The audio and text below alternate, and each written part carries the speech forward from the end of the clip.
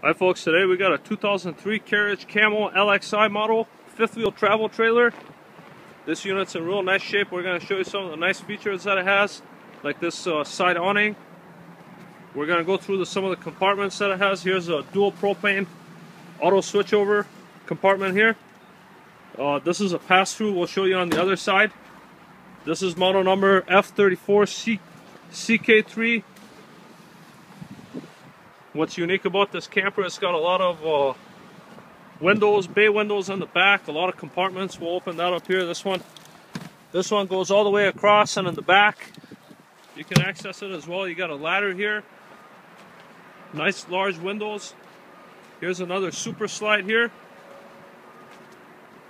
This camper is in real nice shape. It was winterized and it's ready for use.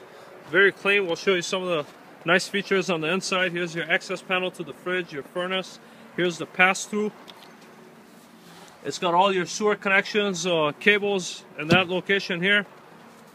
Uh, the front jacks are uh, power. These are the deep cycle batteries. We're going to open up this compartment here. It's got an extra propane tank and your satellite dish. And also your, your power converter. Everything's here laid out nice leveling jacks. It does have a small dent that's right here. Three steps on a handle gets you in into this unit. Wood floors.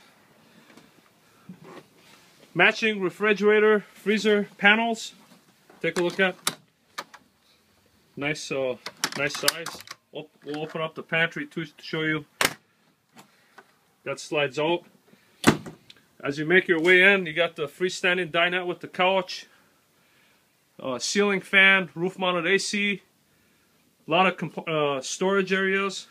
Let's make our way here to the back. Here's a La-Z-Boy chair with a table. This is your entertainment center here. Nice computers desk here. You got a, a phone jack for internet access. We're going to open up some of these compartments. This lifts up like that. A lot of counter space here. It's your trash can inside. Tall faucet. A lot of cabinets. This unit weighs 11,065. Microwave, three burner stovetop with an oven.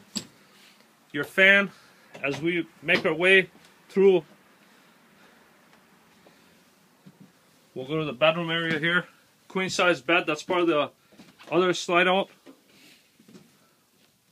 A lot of cabinets. A lot of lighting. Take a look at the size of this uh, closet space here. It's huge. Wardrobe closet. Here's your uh, your sink, vanity,